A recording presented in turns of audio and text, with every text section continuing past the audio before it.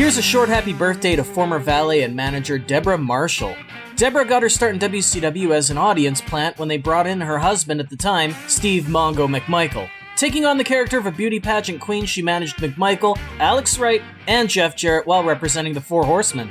She would leave WCW in 1998 after divorcing Mongo and appear on WWF TV alongside Jeff Jarrett, where she would continue to manage him and Owen Hart before winning the Women's Championship by losing an evening gown match. Yeah, it was different times. She would also be a factor in the 2001 rivalry between Steve Austin and The Rock, where it was revealed she was Austin's real life wife until they both left the company in 2002. Their marriage didn't last.